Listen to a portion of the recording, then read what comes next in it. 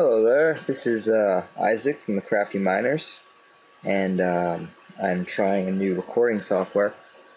I'm making this video uh, to basically explain our absence, uh, and that was our absence has simply been um, the fact that Nick and I got really busy. Well, actually, the main reason is um, our we were both running video capture trials. They were just trials of what the program we were using, and they ran out, so we couldn't use it anymore unless we paid money, uh, and we didn't want to do that. So I'm trying a different program right now. Uh, I'm not sure when we're going to make more videos, actual ones, um, because just for different reasons, but uh, we want to. So, um, what you should do is you should uh, send us post comments on this video or send us message whatever uh, for what you uh, ideas for what you think we should uh, subjects what the subject should be for our next videos if we post any more what they should be about just give us some ideas and help us um, so we don't just try to pull something out of nowhere. But I thought what I'd do is I'd show you um, what I what I can do is I can show you my own world, the world that I'm playing with right now, um, and I I called it Overhill and Underhill because of the basically the way I've built it. Uh, I kind of like it. These glass things. This this is back when they had when when 1.8 first came out. Uh, so it still has the glass beams that notify, that show you where the fortress is. So actually, there's a fortress right beneath me, but I haven't explored it yet, even though I've played this for a long time. But I built this home basically into a hill, and um, so fell off the path. So I've got, course, my my rainbow sheep. Always have rainbow sheep. Um, We'll go into my house in a little bit. It's not too big, but up here I have my farmland. I have my wheat and sugarcane.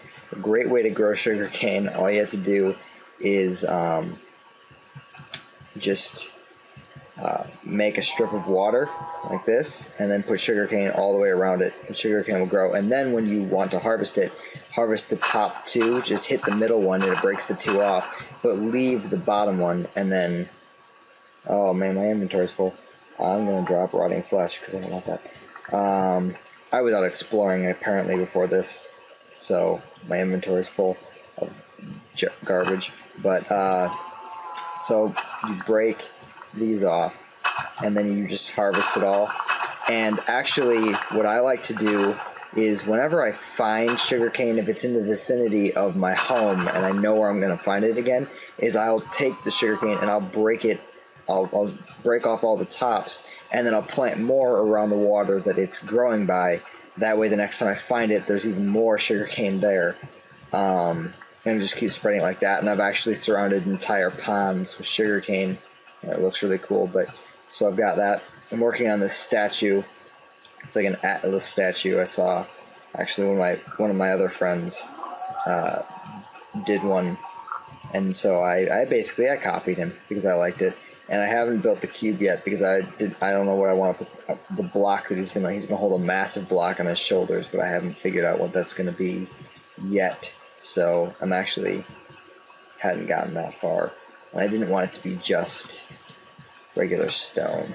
So um, my farm, my animals, got my pigs and my cows and chickens and I gave chickens plenty of room because I want to keep uh, breeding them more. In fact, I think I'm actually going to make more chickens right now.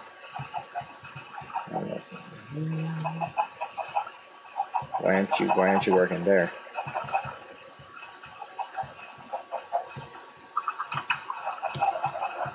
I just open something.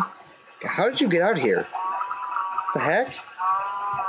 No, come back. Come over here. How did you even... I don't even understand.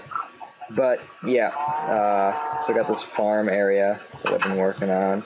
Uh, and so, follow me into my home. It's a, it's a tiny little place, but I really like it. Um, my bed and a chest with all my dyes, because I got my sheep. I don't know, it's just random stuff. Uh, we'll get to that in a second. This is my tiny little work shelf area. Uh, my workshop. It's got all my supplies, and actually, I probably need to empty this out, but um, that's a back way out. Down here is my enchanting room, so I can enchant my weapons. And you might have heard some mooing. That is because I have a kitchen. There's cake. Uh, I was baking a bunch of cakes and I needed a lot of milk, and I didn't feel like going out and getting a bunch of milk or making a bunch of bu buckets, so I made a room with a cow in it. So now I have a cow in my kitchen all the time for whenever I need milk. Um, Nick calls that lazy. I call it brilliant. So I don't know what his problem is. Of course, I got all my food supplies in here. Um, and oh, it's getting dark. Uh, my back entrance. This is a really nice place. There's a there's a desert that way, and then that's an NPC town. And basically, for some reason, I guess this is a, a blessing. Um, monsters don't spawn in this back area. Like, and there's a lot. Of, there are a lot of light spots, so I guess that could be. It's just because of where monsters spawn, and then where I have the light placement. It's just really difficult for monsters to spawn here.